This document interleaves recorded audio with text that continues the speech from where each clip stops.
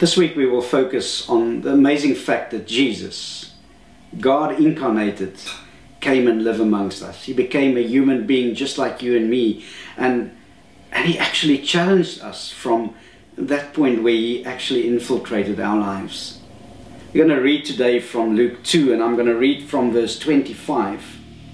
Now there was a man in Jerusalem called Simeon, was a righteous and devout man. He was waiting for the consolation of Israel, and the Holy Spirit was upon him.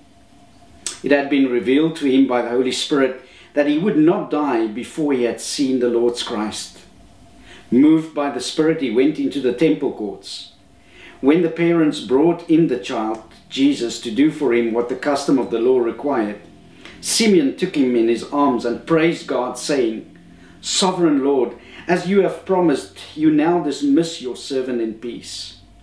For my eyes have seen your salvation, which you have prepared in the sight of all people, a light for revelation to the Gentiles and for glory to your people Israel. The child's father and mother reveled at what was said about him. Then Simeon blessed them and said to Mary his mother, The child is destined to cause the falling and rising of many in Israel, and to be a sign that will be spoken against, so that the thoughts of many hearts will be revealed, and a sword will pierce your own soul too. This is an amazing story of anticipation and fulfillment. The story of just an ordinary man filled by the Holy Spirit, believing the promises of God of the coming Christ.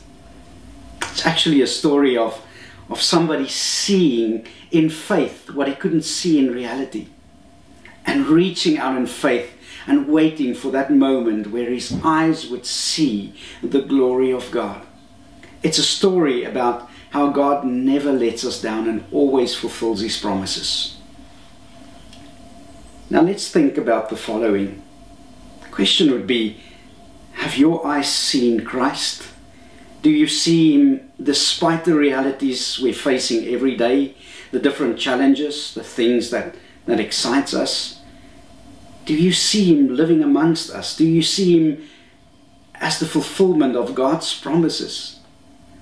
And when you see him, is there, is there something of, of, of praise burning inside you and, and, and looking for opportunities to share that with so many around you who cannot see him?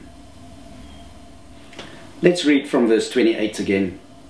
Simeon took him in his arms and praised God, saying, Sovereign Lord, as you have promised, you now dismiss your servant in peace. For my eyes have seen your salvation which you have prepared in the sight of all people, a light for revelation to the Gentiles, and for glory to your people Israel.